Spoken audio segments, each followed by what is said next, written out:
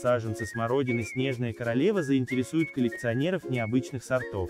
«Снежная королева» отличается прежде всего окраской ягод. Несмотря на то, что сорт причисляют к черной смородине, окраска плодов у нее желтовато-зеленая. Вкус у ягод кисло-сладкий, они не осыпаются после созревания.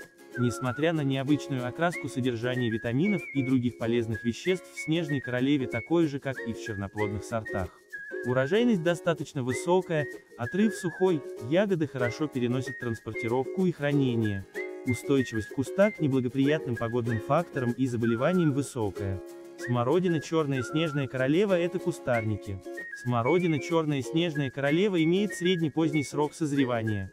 Важно, что смородина черная снежная королева самоопыляемый, обои полый.